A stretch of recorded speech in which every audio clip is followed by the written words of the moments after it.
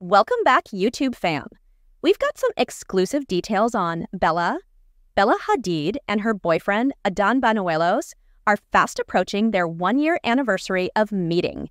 And on Wednesday, the couple stepped out with family and friends for a dinner date in New York City, which is in Hadid's neck of the urban woods.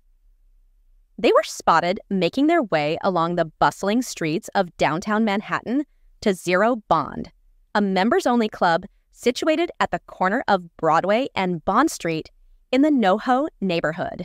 It looks as though the supermodel has taken easily to the cowboy and cowgirl styles by donning a long denim skirt with a tan Western style top with stitch down the front and center. She also donned a pair of dark brown cowboy boots, accessorized with an assortment of bracelets, necklaces, and rings, which she capped off by having her dark brown locks styled long and straight with a part in the middle